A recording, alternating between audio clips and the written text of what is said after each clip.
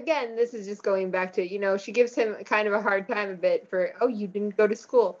Nobody told little puppet boy that why didn't Geppetto take him to school the first day? Yeah. Why didn't Geppetto stay home and spend the first day with him, explaining how the world works? Yeah, no, agreed. But if, I, I just a thought occurred to me. You know, 1940.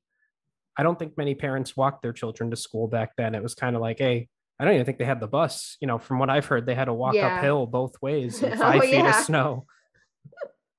Fair enough.